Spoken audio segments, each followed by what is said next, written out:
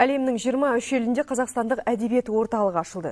Енді шетелде жүрген қандастарымыз бен сол елдің азаматтары қазақтың қазынаға толы кітаптарын осы орталықтардан оқи алады. Бұл туралы бүгін 3-ші халықаралық оқу конгресі барысында мәлім болды. Заманауи әлемдегі оқу мәдениеті тақырыбындағы жиынға 40-тан астам елдің өкілдері қатысты. Олардың қатарында қоғам қайраткерлері, танымал ақын жазушылар, ғалымдар мен Нобель сыйлығының лауреаттары бар. Жиынға қатысушылар кітап оқуды насихаттау, кітапханалық қызмет және ақпараттық ресурстарды дамыту жайын талқыға салды. Сондай-ақ ұлттық академиялық кітапхана қорының бір жарым миллионнан асқандығы туралы ақпарат айтылды. Олардың шамамен 100 мыңы электрондық нұсқаға көшірілген.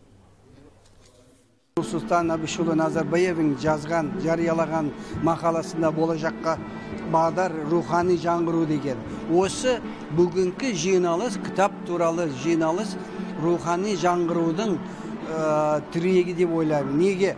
Ә, қазақтың жастары қазақстанның болашағы деп ойлаймын. Қазақстанның болашағын ә, салатын жастардың кітап оқуы керек. Кітап оқымаса өз атасын білмейді.